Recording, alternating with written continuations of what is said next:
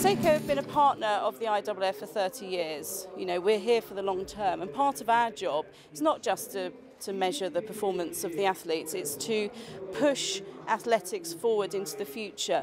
And for us, that means technology. So we're always looking for ways to make improvements in the systems of timing and measurement. And this is just one big step forward.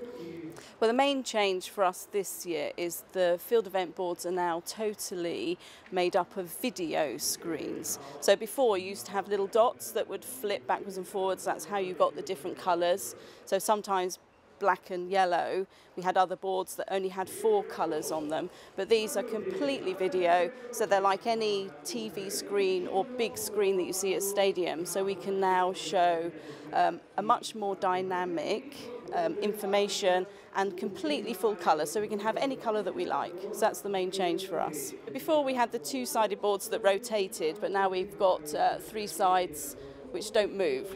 The thing with field event are it's, it's, supremely complicated and quite often there's seven field events going on at the same time and the spectators don't know where to look. So these boards will hopefully um, improve the information that each spectator can receive and they'll be able to keep up to date with what's happening in their favourite events. We've been developing these boards for two years now and the main launch is in Moscow at the World Championships but we cannot just take them to the World Championships. We have to bring them to other events and this is the first event that we've had the ability to test them in the field, see what they look like, have them linked into all the other partners that have to to relate to these boards. So it's not just Seiko, it's the results partner as well. So this is a very important testing moment for us.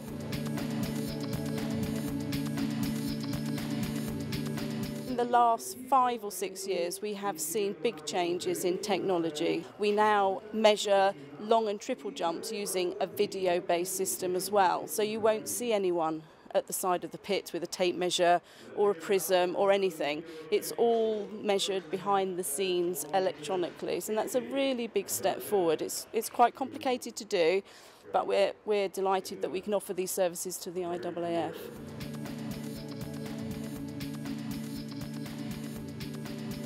We've redeveloped our whole starting system. So that's the start blocks, the start console, the way that we show the waveforms, and also the gun sound that the athletes and the spectators hear. hear. So we've redeveloped the sound digitally so it's much more clear and distinct. as we just heard and uh, so hopefully everyone will be able to to fully engage with the process if they can hear the start sound wherever they are in the stadium.